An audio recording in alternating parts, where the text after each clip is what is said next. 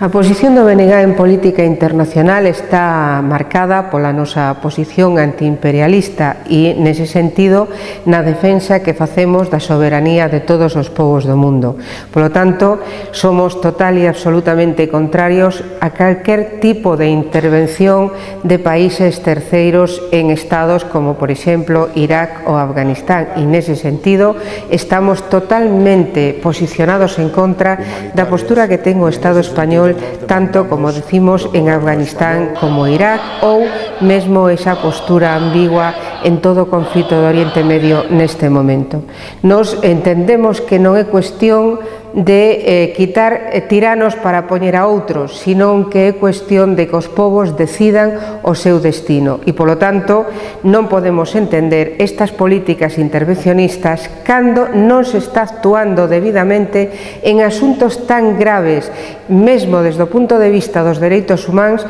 como é Palestina ou como é o problema do povo saharaui. Non podemos entender que haxa por parte do Estado español, por parte do PP e do Eh, Partido Socialista, esa predisposición a colaborar en conflitos bélicos cando non hai unha posición clara en estes dous asuntos tan dramáticos e tan cercanos, ademais, ao Estado español.